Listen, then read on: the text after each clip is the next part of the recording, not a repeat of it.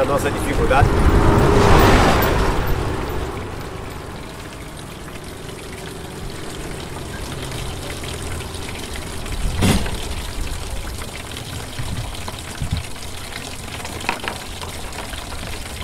A gente dá graças a Deus tem essa peninha d'água aqui, se não tivesse, ai.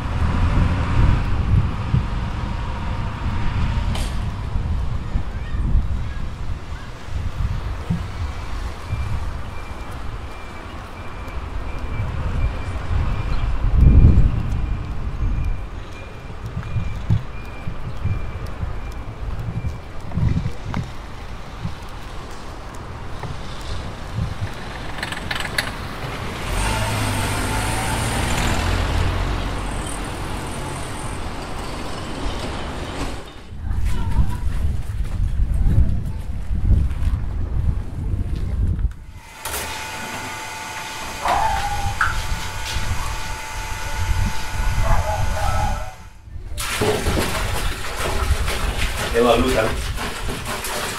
É uma luta.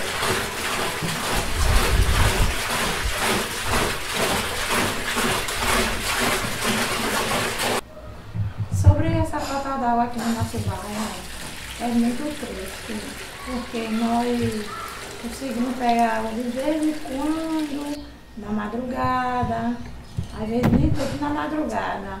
A gente tem que se localizar para outro bairro, pegar essas águas, é, armazenar num recipiente e trazer o peso de um bairro para o outro. Então isso afeta muita gente, porque tem gente que é idoso, é, tem problema de saúde, aí não pode estar carregando água, né? Devido aos problemas de saúde.